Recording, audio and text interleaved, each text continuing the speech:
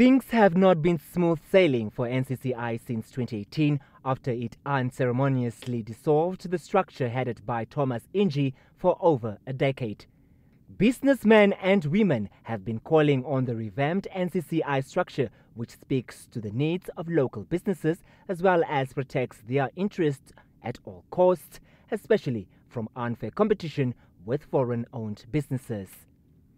According to a reliable source, majority of business owners, including business heavyweights in northern Namibia, have now defected from what they termed as a redundant NCCI and came up with an organization where their interests will be prioritized.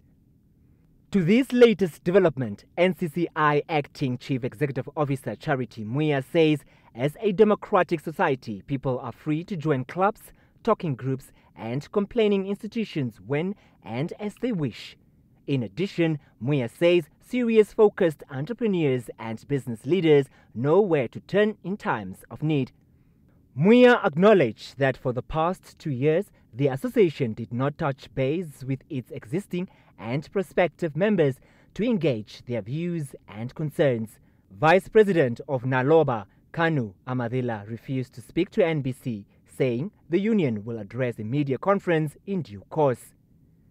It has not yet been established as to the exact number of business people that have joined the new formation, but those in the know indicate it's a lion's share from NCCI's members cutting across the four old regions.